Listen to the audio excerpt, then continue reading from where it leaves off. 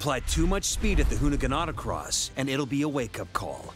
Overdosing on raw power will plow you through the cone gates, giving you a ton of time penalties.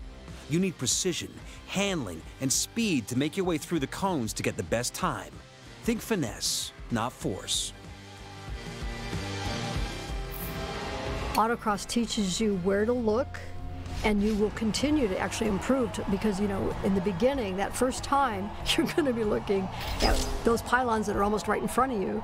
The 10th time you'll be smart enough to be looking at those pylons two corners